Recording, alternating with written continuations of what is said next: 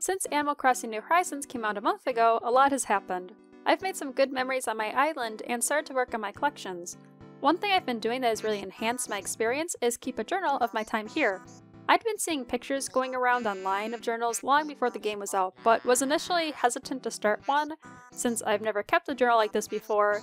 My handwriting is no good, and my art skills are questionable. I'm so glad that I decided to take the plunge and make one though, and I know there's plenty of other people who, like me, may not feel confident enough. So I wanted to make a video showing what I've been using and doing as a beginner that has made the process more fun for me. At the end of the video, I'm also going to show off some helpful online resources and alternatives to traditional journals, so stick around. First, I'm going to go over the materials that I've been using. I had this notebook lying around that I bought last summer and thought that this would be a good chance to use it. It's pretty basic, relatively inexpensive, and lined. While not having something more proper for a bullet journal did pose some challenges, namely, it was difficult to get the pages to lie flat, which caused me to tear some near the binding or give up and let it be uneven while working on it, and also it was easy for ink to bleed through. An upside, though, of having it be cheaper was I felt less pressure because even if I messed everything up, there wasn't as much to live up to, so to speak. While this notebook was clearly made for New Leaf, I thought it was fun that I had the chance on every page to color in some of the characters, although I've only gone around to a few so far. I haven't used this pen yet, but I also bought it at Tokyo Game Show with the notebook. I might take it with the journal if I ever leave my house with it, since it's fitting. I have a few different tapes that I used, including this Animal Crossing one, which I bought on Etsy and will put a link to down below. These are fun for creating borders, adding more color to a page, or, if it's see-through enough, faking a highlighter effect to avoid ink bleeding through. And I just had some basic colored pencils, which I also use for a highlighter effect, among other things. One thing that helped me a bunch was printing things out. Because it's so easy to take screenshots in New Horizons, it's convenient to take record of things this way.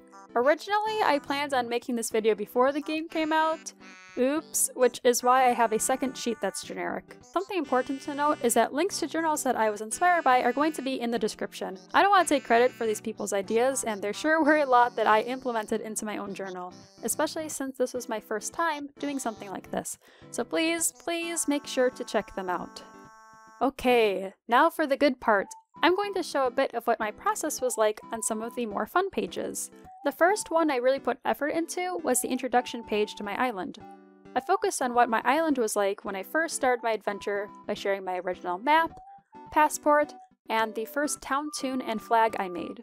Thinking back, I wish I would have done something similar for my past Animal Crossing towns because even though I still have them, I don't have any record of what it was like when I first started, so being able to print these off is wonderful. I also decided to add a few drawings to show my native fruit, the color of my airport, my flower, and my starting villagers. I was a bit nervous to add drawings since I didn't want them to turn out badly, but I practiced them beforehand and am happy with how they came out. Although I looked at Plucky's e-reader card as the reference and later realized that she doesn't wear the flower in New Horizons. Oh well. But I think that that's something to keep in mind if you're worried about how your journal will come out. If you accept ahead of time that's not going to be perfect, it makes it a lot easier to start it and just have fun with the process. Maybe that sounds weird to say in a video where I'm trying to give advice, but I really do think that this mindset will make things more enjoyable. Also, sorry for the shadow from my phone that's recording. Another big part of my journal is the monthly pages. Every day that I play New Horizons, I jot something down that happened in game so that I can look back later on how my town progressed. If there were any campers, anyone who moved in or out, any special visitors I met, or anything else I want to remember, I'll put it down for the day. For March, I didn't have too much since there weren't many in-game days, and I already recorded the beginning of my town in the front of my journal, so I put pictures of some of the opening scenes and drew the resident services tent. Also, sorry, I was looking at a reference on my phone and kept putting it in shot. Something else I decided to put in was which fish and bugs were leaving that month, so I could try to make sure to get them before my chance was gone. I did not get all of them. Next, here's me starting the April pages. Since the month isn't over yet, I won't be finishing them here. I decided to use the flower tape alongside my picture of Zipper T. Bunny to remember the good times I had trying to get Cherry Blossom DIYs during the Bunny Day event. Towards the end of the month, I plan on adding an updated picture of my map since it has changed, and if I ever change my town tune or flag, I'd also add it here. Once again, I added the fish and bugs that are going to be gone next month, and I continue to keep track of what I do each day. Now that I've shown you how I made some of the pages, I'm going to walk you through what my journal currently looks like. In the front, we have the index and my boarding pass, which I'll be talking about a bit later. I kept most of it in pencil just because I'm not sure what's going to happen in the middle, like I might run out of space. I did make some minor changes to these pages, but not too much. Here's where I drew my progress on my loan and what facilities I have. I ended up making these pages a while after I started, so I already had quite a bit to fill in for both. Next comes my tracking pages. For New Leaf, I used an app, but this time I decided to keep my progress in my journal. You can see for the fish, I have a checkbox, the name of the fish, when they can be caught, and their location. I decided not to put the time of day since that would take up too much space. And I did the same for bugs.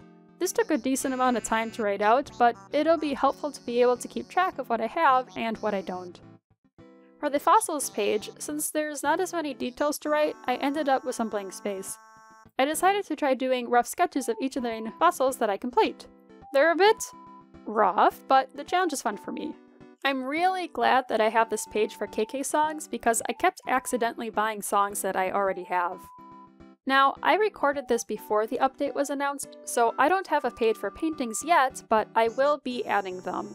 I have plenty of blank pages, so I'm not worried about running out, but I am wondering what other pages I might add. I'm thinking about having a few pages dedicated to my changing passport, but we'll see what I end up doing in addition to that. I showed you what my own journal looks like, but I want to present some other methods for keeping a journal or keeping track of your time New Horizons that might help if you're still not sure about making this kind of journal. The first idea is to print things out to paste in a notebook or just keep by itself. This could take the pressure off of writing or drawing things. The website Dodo Airlines has a few different things you can make, including the boarding pass from earlier. This has been pretty popular online for journals, but also just as keepsakes, and the creator is also selling it as a sticker on Redbubble. Flashlight Flexo Art on Tumblr came up with this page that you can print out to write down some of the basics of your island. You could also use this idea as a basis in order to create your own pages in a program like Word. Speaking of which, Another idea is to keep a bullet journal entirely in Word. Stardust and Sunshine on Reddit pointed out that there is a template for bullet journals in the program that you can use if you really like the dots. If you decided to go down this route, you could create your own page designs for what kind of information you want to type out, and you could also copy and paste images, such as the boarding pass I showed off earlier, but also any screenshots that you might take, like your map. Next is a physical journal called the Island Companion Planner on Kickstarter that ended up getting fully funded, which also has a digital version. This seems very convenient since it gives a template for typical journal features like the map, collections, keeping track of villagers, your dailies, and a place to jot down notes. I do want to add that I can't find information on updates for it at the time of recording, so it doesn't seem that you can purchase it at this time. So we'll have to see, but hopefully everything is going well and it will be available to everyone in the near future. Of course, you could also keep a journal in the app's GoodNotes, Notability, or just on your computer. There are a couple designs available on Etsy by users like Emma Studios and Tough and Tiny, but also a more basic free one by EJ1103 on Reddit. But maybe you're not as interested in the journal aspect. You just want to know what things you still need to collect. In that case, there's an assortment of websites and apps that let you keep track of your progress in the game. Some of them also let you track things like your turnip prices to see what kind of pattern your town might be following that week, what you can currently catch in the game, or what villagers you have and what they're like. I will be linking to everything I just mentioned in order in the description, so feel free to take a look. I've had a good time keeping track of my island in my journal, and having it show the progress for my first year in game means that I'll be able to look back and see the different stages it's gone through. I hope that my video gave you a little bit of confidence if you weren't positive, if you'd be able to make one that you'd be happy with. It's okay to make mistakes. I sure made a few. Even if you've already begun your island adventure, there's no harm in starting to make a journal part way. In the end, as long as you're enjoying the act of making it, that's what matters. And then, later down the road, you can look back at how much things have changed. Maybe I'll be able to show how my journal looks when it's complete too, and we can see how my island transformed throughout the year. Please check out my social media like Twitter and Tumblr for updates on what's going on. I hope to be getting some special Animal Crossing things soon here in Japan. Thank you all so much for the likes, comments, and subs. I really appreciate it. I'm sorry that I had some things going on in real life that made it difficult to post for such a long time, but I hope to get back into things now. See you next time!